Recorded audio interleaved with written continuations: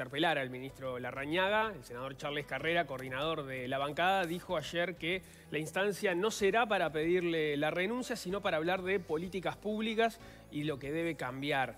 Vamos a ir por el camino de que hay que generar políticas públicas de Estado, de que hay que convocar a los mejores expertos y que hay que convocar a la oposición, agregó. Larrañaga, por su parte, aseguró que desde el Frente Amplio hay mucho apuro por hacer evaluaciones. Dicho senador tiene todo el derecho constitucional de llevar adelante las instancias parlamentarias que, corresponde.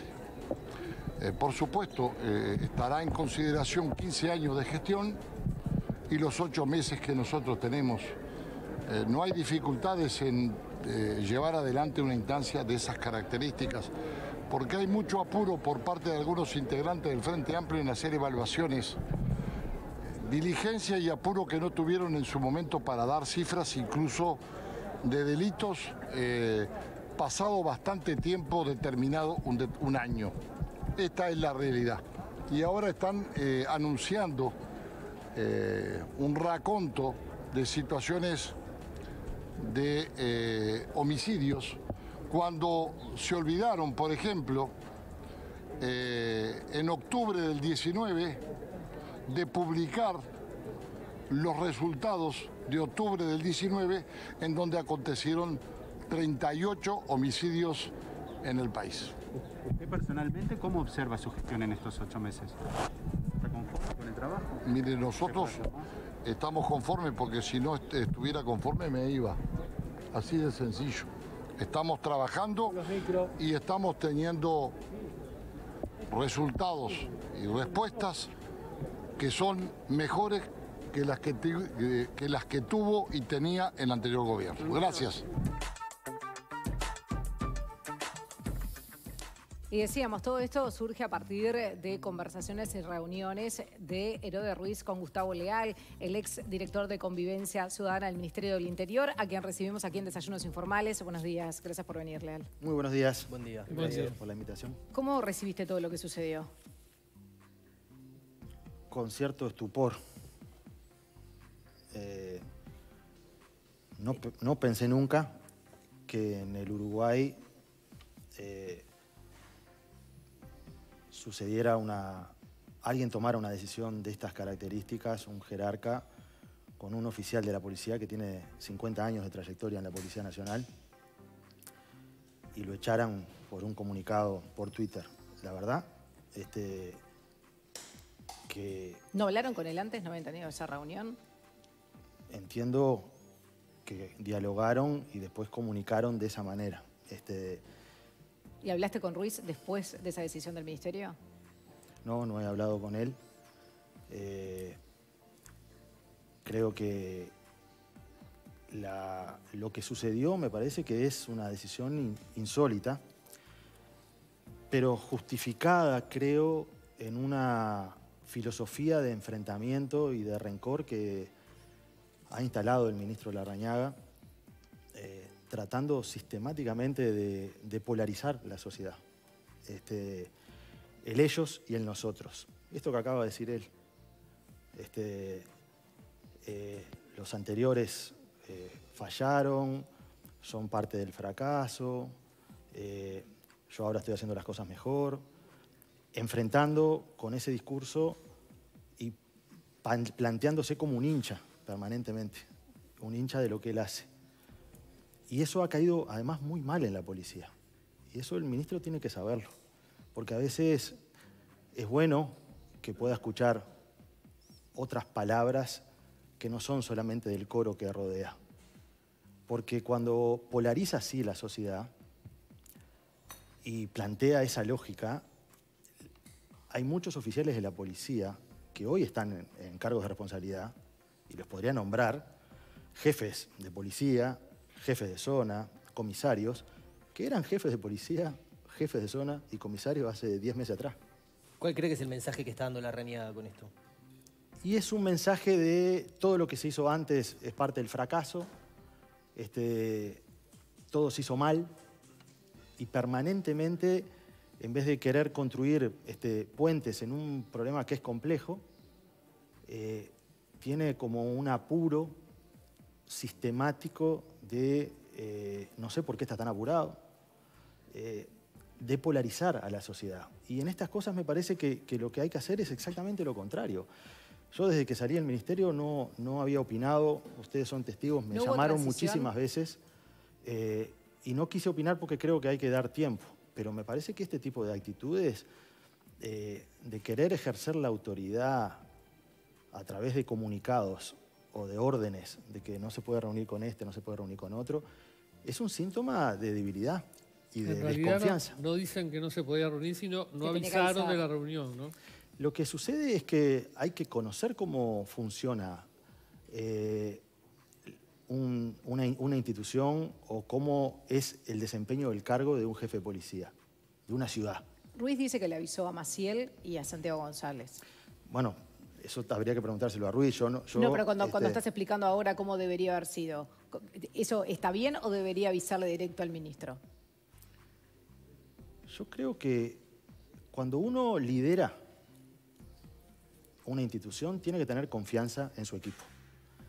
Si permanentemente bueno, esa forma, se perdió la confianza, dijo también Delgado. Claro, si esa forma de liderazgo implica de que uno le tiene que eh, informar absolutamente todos los movimientos que hace este, al responsable, es que no hay confianza con nadie, porque esa lógica lo que hace es eh, generar una especie de hielo. Este, nadie se va, a mover, nadie puede tener una autonomía. Estamos hablando de un jefe de policía de la ciudad de Montevideo, eh, que tiene 50 años de trayectoria. Entonces, el mensaje que se le da a la institución es un mensaje de parálisis. Lo que pasa... Ese es el problema. Lo que pasa, Leal, es que mm, también el otro mensaje era complicado para el ministerio, ¿no? Como se supiera entre el domingo en séptimo día o el, lunes de mañana con, con, Gabriel Pereira, que desde el jefe de policía se te consultaba a vos porque vos manejabas información que no estaba manejando el ministerio y que de hecho el propio ministro no estaba al tanto de esa, información, era un mensaje complicado para, el ministerio. Pero a mí me parece que, las cosas hay que verlas en la, globalidad. Yo voy a hacer una anécdota este, para plantear de que esa reunión que, se fue, que fue en la jefatura, esto no fue una reunión escondida de nadie, fue en la propia jefatura de policía, no era la primera y tampoco va a ser la última. Eh, el 6 de marzo yo fui a un velorio de una policía que asesinaron. Sí. Eh, la asesinaron en el barrio Casaballe. Eh, cuando yo estaba entrando al velorio, y a los cuales siempre he ido, a los velorios de policías que, que, han asesinado, porque bueno, eran compañeros de trabajo durante muchos años, eh, a mí me sonó el teléfono de una persona que había presenciado el hecho. Y me preguntó si seguía habiendo garantías como para poder declarar como testigo protegido. Y yo le dije que sí, que tenía que, declarar y que había garantías, que había este, garantías institucionales en el Uruguay para eso. Y le informé a las autoridades que estaban ahí en el velorio de ese hecho. A partir de ahí me contacté con, esas personas, esas personas declararon como testigo protegido y esa declaración junto a otras llevaron a que condenaran con prisión a los dos homicidas. Y yo fui uno de los testigos que tuvo que declarar en ese juicio. Porque la defensa de los homicidas objetó eh, de por qué yo había sido el nexo. Fíjense qué casualidad o qué, lo, qué, cosa rara eso, ¿no? Entonces, ¿Por qué lo apunta como algo raro? Y porque la jueza le dijo, pero él es un ciudadano, que si tiene una información de esas características, lo que hace en este caso yo hablé directamente en la fiscalía y les informé a las autoridades. Este, si yo recibo una llamada de alguien que es testigo, lo que hago es, este, bueno, mirá, yo sé a dónde tenés que ir, te acompaño para que vayas a declarar este, como ciudadano. Y se resolvió. Así como participé en ese caso, que supongo que el ministro sabe, y si no debería de saberlo, si no debería de saberlo, este, participé con, esa, con información de esas características en otras situaciones. Que he ido directamente a, la fiscalía a llevar esa información. ¿Y saben por qué? Porque yo trabajé durante ocho años en ese ministerio eh, y di la cara siempre con los vecinos. Y la confianza se construye cuando uno está en los lugares. Y entonces me sigue a veces sonando el teléfono o este, me, buscan a través de las redes sociales para este, canalizar información. Y yo lo que he hecho es cooperar. Si la lógica fuera la del enfrentamiento, uno diría, no, que vaya horrible todo, que no se aclare nada. Este, yo estuve en el ministerio y estoy convencido que hay que tener políticas de Estado. Con tantos años... Y eh, esa lógica del enfrentamiento y de la zanja que plantea el ministro, que no es la lógica de los oficiales de la policía. los oficiales de la policía que están trabajando este, tienen siempre la mano tendida. Cuando dijo que en el velorio ese le habló con gente que estaba del ministerio en el velorio, ¿quién era? ¿Era el ministro Larañano? Era no, de Ruiz. No, er, bueno, eran, era Herodes, hay una foto incluso que han publicado este, eh, sobre eh, ese encuentro, eh, pero había otros jerarcas que estaban ¿Estaba Santiago González? No, yo no, lo conozco a él. Él es el que hoy eh, eh, ocupa el lugar que estabas, eh, que estabas en el anterior gobierno. Y dijiste, bueno, tuviste ocho años y tenías toda esta información de, de, los chingas, de, las bandas, de las familias que habían sido víctimas de esos desalojos y de la violencia. ¿No hubo transición entonces? ¿No conoces a Santiago González? No, no, no hubo transición. Yo fui el... Conmigo nadie habló. Yo fui el último funcionario que se fue del Ministerio del Interior el viernes 28. Eh, a las 7 y media de la noche. No me tomé licencia pensando que iba a haber alguna transición, que alguien iba a hablar. ¿Nunca te llamó tampoco Santiago González? Nunca. Este, y bueno, eh, ¿Y por qué hay gente que opta a veces por, llevarle por, esa, información que te hacían llegar los vecinos a, a Ruiz y no, por ejemplo, a Santiago González, que era el nuevo director de convivencia? Porque hay eh, información que estaba canalizando directamente la jefatura en algunas investigaciones que tenían eh, que ver con, casos que se estaban llevando adelante. Entonces, el vínculo este, con las autoridades y esa reunión en realidad tiene un origen anterior, que es una llamada que el jefe de policía me hace eh, para informarme de que una de las personas que me han amenazado de muerte la habían ejecutado de un balazo en los Palomares. Eh, yo le dije, le agradecí que me hubiera avisado, le dije además que, ya me habían avisado los vecinos en la madrugada que eso había pasado, este, y ahí quedamos de conversar y me dijo, bueno, en cualquier momento te venís a la jefatura, y él me llamó y yo fui a la jefatura y hablamos como puede hablar cualquier jefe de policía con un ciudadano. Pero yo, a ver, si, si la lógica es eh, que tenía que estar informado de todo las autoridades, yo hago este cuento del 6 de marzo, porque en ese momento, el 6 de marzo, ahí hubo una comunicación. pasó esto, etcétera, etcétera, este, y el caso se resolvió. Entonces, es así como, como hay que, tratar de complementarse y trabajar en el Uruguay. Eh, Ahora, no, creo, no creo, honestamente, que, que la grieta sistemática eh, el discurso de Barra Brava, de yo soy hincha, ustedes perdieron, así que cállense porque perdieron. Este, eso no, no es del talante de alguien que, tenga que dirigir eh, el Ministerio del Interior. Está mal, está mal Estar eh, enojado permanentemente, generando justamente, como piensa así, se reuniría con Santiago González o con La Rañaga para quizás darle un marco, no sé si institucional, pero como el cuestionamiento es no se avisó, blanquear y, reunirse y, Absolutamente. Lo que pasa que, que para poder hablar tiene que haber por lo menos dos personas, si no, eh, no es un diálogo. Yo acabo de decir de que hay ciertas autoridades que han resuelto eh, abrir una zanja en la institucionalidad. Y incluso generar una sensación en la policía de que ahora este, ningún jefe puede tener autonomía de nada.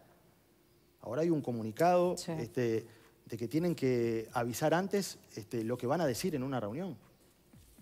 Imagínense, ¿a alguien le parece de que la Policía Nacional puede trabajar de esa manera? Eso no es disciplina, ¿eh? Es, una cosa es la disciplina y la otra es la disciplina del comunicado. Sí. El comunicado lo que dice es que, que tiene que informar en cualquier acto o conmemoración que vayan a hablar sobre qué es lo que van a decir. Claro. O invitación a autoridades fuera de la órbita del ministerio. Está bien, pero eh, cuando uno quiere controlar todo, absolutamente todo lo que pasa, es porque además de desconfianza en su entorno, siente debilidad. Bueno, pero Porque los liderazgos, como decía Guarteche, y hay frases de Guarteche que todavía están en, en algunas jefaturas, él decía, el liderazgo se construye cuando conjugamos el nosotros y el trabajo en equipo. Y Pero el el trabajo en equipo en es parte de, de la confianza. Y si uno lo que establece es que no hay confianza y que este, claramente pone diques de contención en absolutamente todo, eh, se equivoca. Y yo creo que, que- que- que está mal. Yo estoy convencido de que hay que dar tiempo, de que hay que eh, ayudar, porque los temas de seguridad lo dije siempre, porque además estuve ahí. Entonces, y como estuve, sé que escuchar es importante porque la opinión de otro o la información que otro trae me puede dar una cosmovisión. Como estuviste mejor. ahí y, y, eh, te voy a consultar por, una situación y por unas declaraciones además de Mujica en su momento cuando se refirió a la Raniaga, te dijo, lo ponen ahí porque lo quieren cocinar, el herrerismo lo quiere cocinar, esas fueron sus palabras. Y en realidad tanto Herodes Ruiz como Guillermo Maciel lo pone el presidente. Sí, O sea, que no es del entorno de confianza cuando vos decís se necesita un equipo de confianza, no es que lo eligió el ministro del Interior. No, no. Sí eligió a Santiago González, que era su chofer y era personal de confianza. Ta, yo no sé los antecedentes profesionales que tiene este, la persona que me sucedió. Eh, lo que digo es de que cuando, si uno es el ministro eh, y tiene un jefe de policía de Montevideo, que es la capital del Uruguay, es la jefatura más importante, evidentemente eso es parte del equipo. Es cierto que este, Herodes tenía un, y tiene un, un vínculo fuerte con el presidente y con el, y con el presidente actual, la calle Pou, y con el expresidente de la calle, este, es decir, el padre del Sin embargo, la calle Pou respaldó la decisión de la. Bueno, se verá. Yo creo que hay que reconsiderar esa decisión. ¿Crees que puede haber una marcha atrás? Ojalá. Eh, ¿Viste ojalá. alguna señal en ese sentido? Yo espero de que, eh, así como el presidente ha dicho muchas veces que, que- que hay que poner marcha atrás, hay que reconocer errores, este, me parece que privarse del trabajo profesional de un oficial como Herodes es realmente... ¿Y Ruiz estaría dispuesto? No, sé, no sé, Dijiste que no no hablaste sé. con él, pero... No. No, no sé, no sé. ¿Y qué te pasa lo que dijo Mujica en lo- su momento? Bueno, yo no soy comentarista de Mujica. Bueno, pero po- podés analizar No conociendo podría. la situación y el ministerio. A mí me parece que las responsabilidades públicas, eh, cuando se ejercen, hay que ejercerla con la convicción de que uno está dando lo mejor. Este, no, no, no creo que, que ningún servidor público este, vaya a un lugar para hacer este, algo que cree que está mal. Trata de hacerlo mejor. Leal, en estos días ha circulado también, por ejemplo, antecedentes, ¿no? Vázquez destituyó al comandante del ejército por reunirse con Sanguinetti. Es un caso similar en el sentido que son dos instituciones verticales. El comandante no le había avisado al presidente Vázquez que se iba a reunir con el expresidente Sanguinetti, fue destituido. No, no tiene nada que ver una cosa con la otra. ¿En qué sentido? Eh, y que claro, que las reuniones que yo he tenido con los fiscales o he tenido con oficiales de la policía, y voy a seguir teniendo, tiene que ver con información de un delito que personas quieren confesar.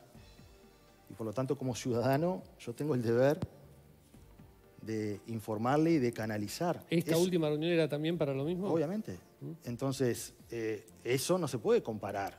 Bueno, no Hay- sabemos qué hablaron Sanguinetti y Carlos Díaz. en Bueno, pero está, yo tampoco, pero lo que digo, estábamos hablando de, de un eh, eh, presidente con un comandante. Eh, acá estamos hablando de un ciudadano que va a hablar este, con una autoridad de la bueno. policía porque le llega información Pero, que trabajó usted antes. es un ciudadano, pero también fue, iba a ser el ministro del Interior del gobierno de Y Daniel por eso Martínez, estoy por eso- colaborando.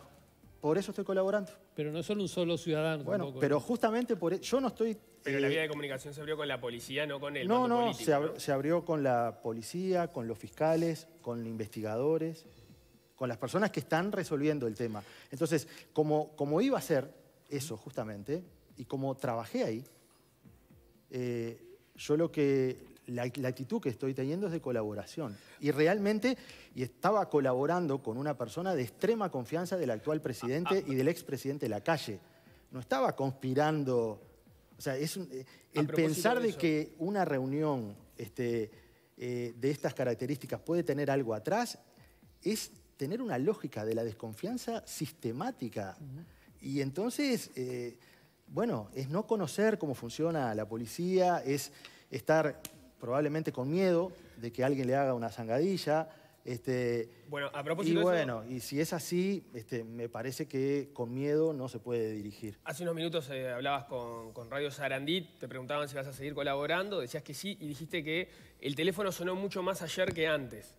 ¿A, a qué te referías concretamente? ¿Esas llamadas son de vecinos de los barrios complicados que siguen acercándote información o son llamadas desde el Ministerio del Interior que también quieren abrir canales de comunicación para que no se pierda esa información que vos tenés y que se estaba vehiculizando a través de, de Ruiz?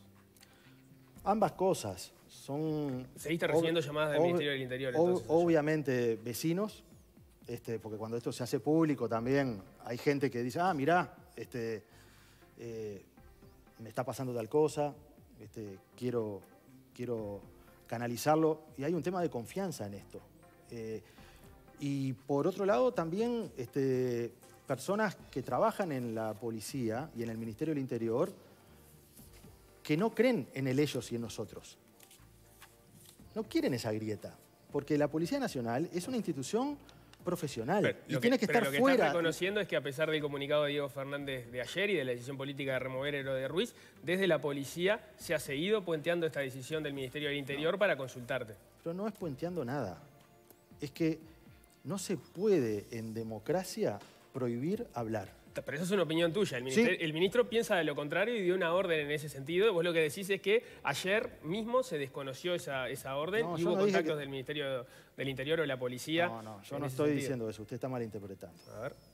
Yo no estoy diciendo eso. Yo lo que estoy diciendo es de que eh, pretender de que los oficiales de la policía no hablen con, con las personas es un error. Porque no funciona así la policía. No puede funcionar así. Pero ayer No. hubo contactos en ese sentido. No, pero es que no, no. A ver, es desconocer la dinámica del funcionamiento. Es querer ser más realista que el rey. Es decir, yo escribo este papel y nadie acá puede hablar si yo no lo autorizo. Pero el ministerio tiene 30.000 funcionarios. Sí, bueno, lo que queda claro es que sí van a seguir evidentemente teniendo contactos, pero si el ministro se entera, va a pedir la renuncia o directamente va a dar. Pero no tiene por- no tiene por qué a- Además, hacerlo. hoy sacó ese comunicado donde dice que queda claro que le tienen que avisar. Pero es que una cosa son las jerarquías, que yo conozco. La otra son que si un oficial o un jefe de policía mañana viene una persona y le trae una información de estas características, no es muy lógico que tenga que pedir permiso. Primero tiene que escuchar y en todo caso después comunicar lo que pasó, que fue lo que, lo que sucedió en este caso. Se escucha cuál es la información y después se comunica. Este, creo que la, la, No es lo que opina el ministro, Bueno, evidentemente. yo sé que no, no no, lo- es lo- no- no es lo que opinamos nosotros, capaz, de- digo, Yo no, sé que tiene nada lo- que ver, pero es lo que yo el ministro que- está pidiendo. Yo sé que no es lo que opina el ministro, pero yo le digo a la población, si alguien se imagina que una institución puede funcionar en base a ese mecanismo de intento de control absoluto de lo que pasa. Cuando uno arma un equipo, como decía Guarteche, tiene que confiar en él nosotros. Tiene que confiar en la capacidad de discernimiento profesional. Y Queda tiene que claro, confiar de que nadie le va a hacer una trampa. Porque Queda si uno claro lo que está estás diciendo. convencido que Nosotros no alguien es que le quiere estamos hacer una discutiendo trampa, por si opinamos a favor o en contra de lo que decís vos o lo que dice el ministro. Pasa que lo que dice el ministro es lo que hizo Guarteche y lo que hizo toda la administración del Frente Amplio está mal, no queremos ningún consejo y además no quiero que se reúnan con nadie. Ese es el problema. Fue muy claro. A vos te parece que es una muy mala actitud, pero una- es lo que él dice. Está bien, pero es una mala actitud. Yo creo que es una mala actitud porque Y a polariza. pesar de esa, esa señal ayer siguió pasando. Haya sido- sí. Polariza, pero eso polariza a la sociedad porque es pensar de que la razón está de un lado. Y hay que tener cierta humildad para entender de que, eh, así como yo reconozco de que hubo muchos problemas de seguridad en la gestión anterior, este, y que hubo muchos errores. Y tampoco se recibieron muchas ideas de fuera tampoco. Hubo mesas de negociación y A las ver, ideas no, se, no eh, eran tomadas. Novik trajo a, a asesores norteamericanos y los ofreció y se los escuchó. Por ejemplo. Pero se Este, tomaba no, poca no, no, cosa. pero a ver, este, hubo una mesa de diálogo con todos los partidos políticos. Pero de esas se tomó poca cosa. Y algunas Se- se tomaban y después no se implementaban. Pero se escuchó Claro. mucho. Yo no digo de que eh, el que tiene eh, la responsabilidad de mandar y de dirigir, tiene la responsabilidad de mandar y dirigir. Escuchar no quiere decir de que yo haga lo que la persona este, tiene, tiene, eh, me, me está diciendo. Pero en este caso, de la comunicación que yo he tenido, no tiene que ver con una sugerencia de cómo dirigir una política. Tiene que ver con, mirá, en tal lugar, a la familia que extorsionaron y la sacaron a punta de pistola, eh, quiere denunciar. Y además tiene identificada a la persona que lo hizo. Porque te muestro la foto acá, la sacó del Facebook, esta persona vive en tal barrio, se llama fulano de tal y se esconde en tal lugar. ¿Alguien piensa de que esa información yo me la puedo guardar? ¿No? Y eso es lo que hablé sistemáticamente, que fue lo que hice el día de ese velorio. E- Eso es distinto a que yo vaya a pedirle una reunión a un jefe de policía a decirle lo que tiene que hacer, porque yo no soy una autoridad del ministerio. Confundir eso, que es lo que está confundiendo el ministro, con mucha manija de algunos oficiales de la vieja guardia de la policía, es lo que le está llevando a cometer errores y un error enorme como haber destituido y pedirle la renuncia a un oficial que tenía la máxima este, confianza eh, en la jefatura de Montevideo y que además tenía el respaldo político del propio presidente. Yo por eso espero que, que se dé marcha atrás. Gustavo Leal, muchísimas gracias por acompañarnos. Gracias a ustedes. Muchas gracias. Gracias. Y hablemos de Carolina Cose y de su gabinete, que lo presentó ayer.